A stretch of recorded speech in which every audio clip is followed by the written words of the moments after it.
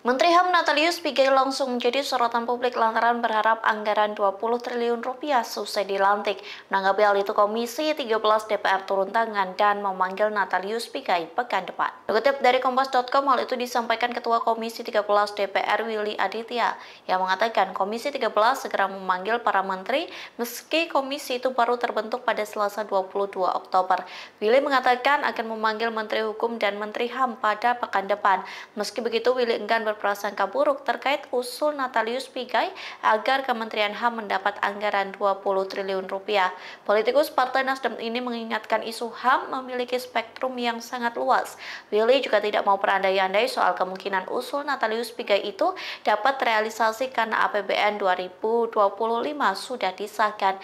Ia pun mengingatkan bahwa Presiden Prabowo Subianto memiliki program makan bergizi gratis yang menurutnya berkaitan dengan isu HAM. Download Tribun X sekarang. Menghadirkan lokal menjadi Indonesia.